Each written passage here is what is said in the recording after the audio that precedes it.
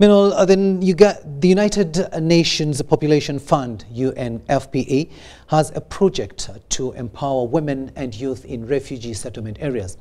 The UNFPA country director, Alain Sibenaler, said prioritizing needs of young persons is fundamental in development, as we hear in this report.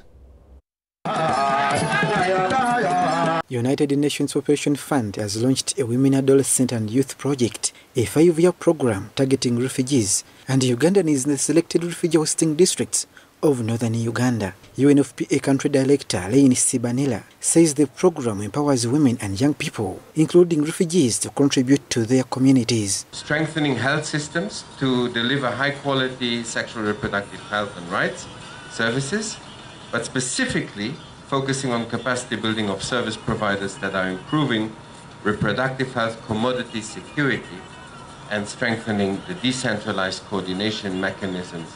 All interventions will be having an integrated approach to gender equality, sexual and reproductive health, and the rights as well as gender-based violence prevention and response. I'd like to adopt the co-creation and innovation approaches that engage all the young people in devising practices that are aimed at improving demand and accountability for their health and for GBV, gender-based violence services.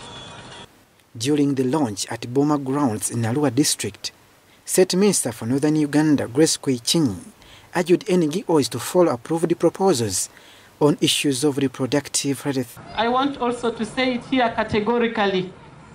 If we are going to talk about sexuality, responsibility and rights, it should not be about homosexuality.